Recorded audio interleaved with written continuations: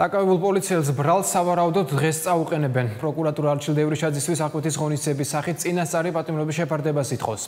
დაკავებულის ადვოკატის თქმით, მისი დაცვის ქვეშ მყოფი ბრალს არ აღიარებს.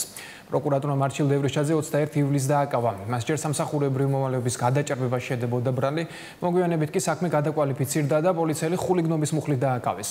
პოლიციელმა 5 დღის წინ ქობულეთის მკვიდრ 25 წლის რომან ქათამაძეს ქუჩაში ცეცხლსასროლი იარაღიდან ესროლა, თუმცა ქათამაძე მიმალვა მოასწრო. გამოძება დევრიშაძე სისხლის სამართლის კოდექსის 239 მუხლით ცეცხლსასროლი იარაღის გამოყენებით ხულიგნობის ჩადენის ფაქტზე ედავება.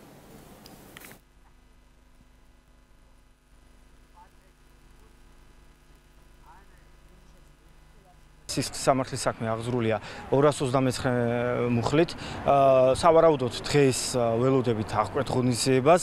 აღკვეთი ღონისძიების სახეები ანუ აღკვეთი ღონისძიების სახეთ რა შუამდგომლობას დააყენებს პროკურატურა ჩვენთვის ჯერჯერობით უცნობია.